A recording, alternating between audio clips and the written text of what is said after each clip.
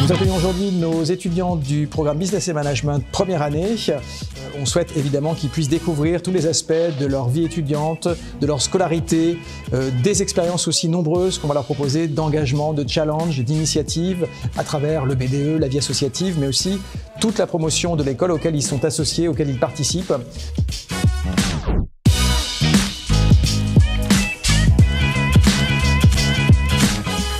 L'ISG a bien compris euh, depuis longtemps l'importance d'une pédagogie innovante et euh, ludique.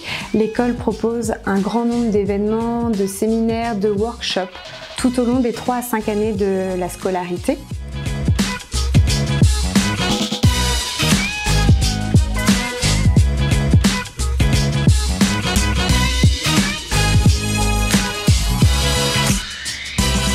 On est intervenu avec deux de mes collègues comédiens à l'ISG euh, pendant deux jours. La première journée, on a travaillé énormément sur les qualités euh, et les valeurs de l'école.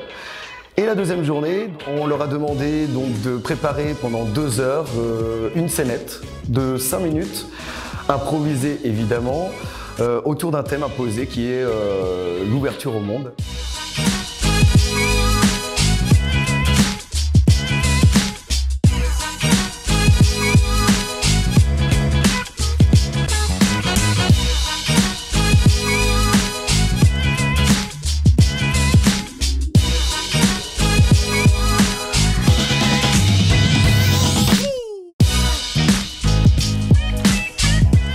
Nantes est une ville très dynamique qui permet aux nombreuses associations de l'IEG Nantes de s'exprimer et de se réaliser pleinement au travers de diverses actions.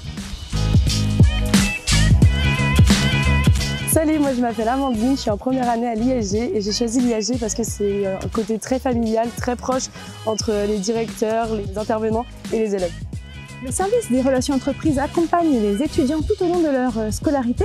Et l'idée, c'est aussi euh, de les accompagner même après, au moment de leur insertion professionnelle. Pourquoi l'ISG? Parce que j'ai l'occasion de faire une mission humanitaire et c'est un projet qui me tient vraiment à cœur. Moi je m'appelle James Lee Corbet, je suis en première année et euh, j'ai choisi l'ISG pour son côté international.